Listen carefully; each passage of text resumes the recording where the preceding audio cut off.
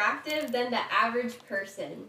You Oh, know what? definitely not. Um, I'm gonna answer for everyone here. Yeah. Yeah, they're all way more attractive than the average person.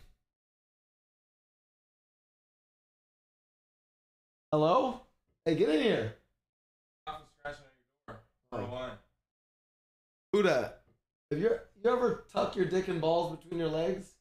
And like, see, Buddha said yeah. Every everyone with a dick has done that, right?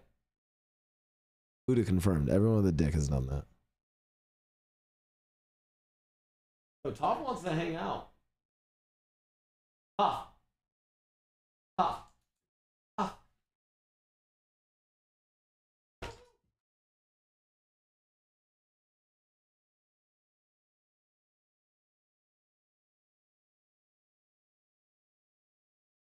Uh, no,